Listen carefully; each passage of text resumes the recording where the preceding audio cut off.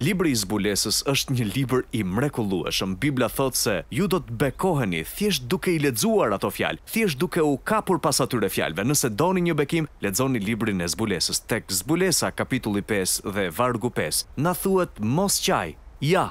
Luani, i cili është prej fisit të Judës, rrënja e Davidit dhe është shumë interesante që përdor atë terminologji, rrënja e Davidit. Një nga drejtuesit e mëdhenj të Izraelit, një nga mbretërit e mëdhenj në të gjithë historinë e njerëzimit ishte Davidi dhe thotë, Ja luani i cili është prej fisit të Judës, rrënja e Davidit. Me fjalë të tjera, nga e kishte origjinën Davidi? Nga e kishte marrë ai urtësinë e tij? Nga e kishte marrë ai drejtimin edhe forcën e tij?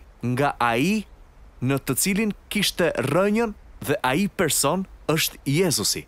Jezusi është personi më unik në të gjithë historinë e njerëzimit. Po, Davidi ishte një drejtues i madh, por unë dua t'ju them diçka, ai nuk mund të krahasohet me Jezusin. Jezusi ishte shumë më tepër sesa një drejtues i madh. Ai ishte drejtuesi më i madh nga të gjithë, Mbreti i mbretërve, Zoti i të gjithë zotëve. Dëgjoni, pra, rrënja për të gjithë drejtimin është tek personi i Jezus Krishtit. Oh, sa Shpëtimtar të mrekullueshëm që kemi! Ne shohim nga Ai dhe shohim atë Jezusin që është edhe ishte edhe gjithmonë do të jetë Perëndi dhe ne shohim atë që u bë njeri që mori një formë njerëzore dhe jetoi si asnjë person tjetër më parë. Ne shohim personin më unik që i dha hir i dha hir këtij planeti ne shohim Perëndinë në formë njerëzore ne shohim rrënjën e Davidit shohim luanin e fisit të Judës ne shohim mbretin e mbretërve dhe zotin e zotëve dhe unë di që disa nga ju që po na shohin mund të jenë skeptikë dhe unë mund t'ju them këtë një ditë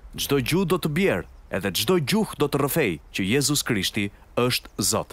Nëse do të përuleshit para tij sot, unë ju them se kjo do të ishte dita më e mrekullueshme, kur do ta shihnit atë ballë për ballë. Njiheni atë si Zot, që të mund të jetoni me të në përjetësi. Ndaj përuluni, përuluni para tij, sepse ai është Rrënja e Davidit. Është Ai, prej të cilit të gjithë ne rrjedhim, ne marrim jetë, marrim forcë dhe marrim drejtim.